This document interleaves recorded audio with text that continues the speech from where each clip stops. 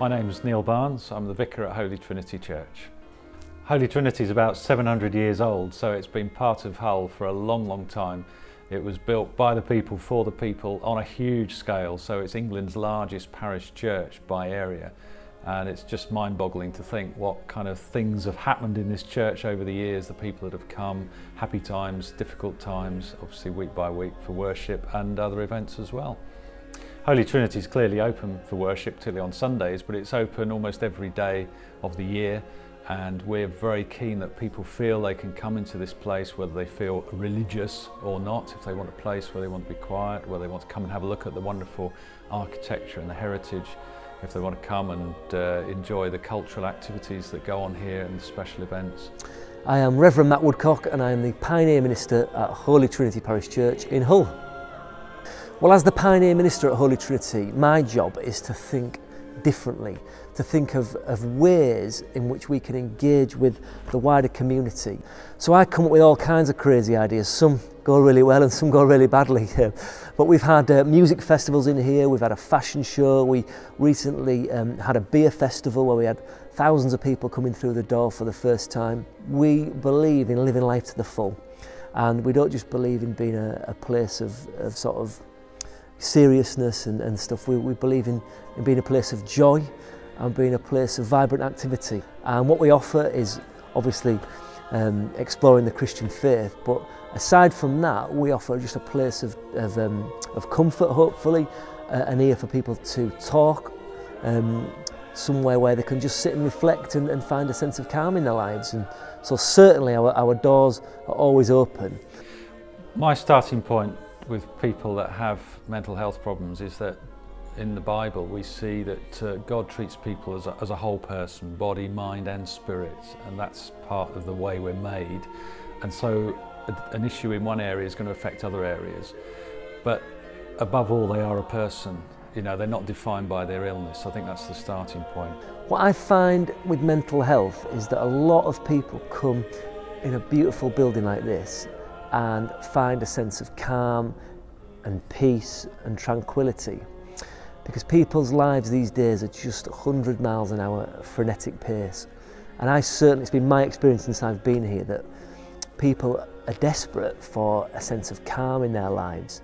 And they'll often come and speak to people like me and come in a building like this to talk about how they're feeling. And actually what they are experiencing is a mental health issue you know, it might be, a, might be stress or it might be depression. And so we play a big part, I think, as the church to help people with that and raise awareness about that. Uh, Jesus respected everyone who came to him, treated them as a human being. So however someone presents, uh, we're very tempted to judge them by what they look like and how they come across. Uh, I think actually what we do is we simply welcome them and, and um, give them the respect and dignity and esteem of saying, you know, come and, and, and chat, come and share, have a cup of tea, have a coffee. I'm Irene Wilson and I'm a curate at Holy Trinity Church. Working at Holy Trinity involves many different things, but one of the things is working with the homeless for many, many different situations that they're in, whether it's through uh, misuse of drugs and alcohol, or even just the fact of living on the streets for and living that way of life. Many, many um, end up with mental health problems, even if they didn't have them before. Sometimes um, they just need that reassurance of being somewhere where they're with people who actually show interest in them, care. And sometimes it's just getting out of that cold and coming in and having a bit of comfort for half an hour. So, but we never turn away. The chapel's always open when the church is open, and we do get people who do come in there and people with um, mental health issues who just want that peace and that calm I'm very happy to support wholeheartedly the Time to Change Hull campaign. I, th I think the anything that helps to bring mental health issues into a, a constructive dialogue, a place where people feel that it's not some kind of buried, stigmatized issue, but it's actually an illness like any other illness that, that needs treating and, um, and treating properly. So I'm very keen and, and happy indeed that this is being an issue which has been raised in, in many different ways through this campaign. For me, charities like the One in Four campaign um, is wonderful because it raises this awareness and takes away the stigma of mental health, which has been a big issue for a number of years in this country. I'm absolutely addicted to social media. I'm constantly on Twitter and I follow um, the One in Four campaign um, Twitter account, which is at One in Four of Us.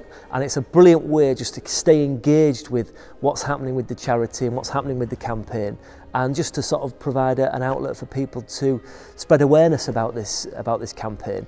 And we're on Twitter too. I've, I've got a personal one called at Rev Matt Woody. And we have a, a Twitter account for the church, which is at Holy Trinity Hull. So follow us. It'd be great to hear from you.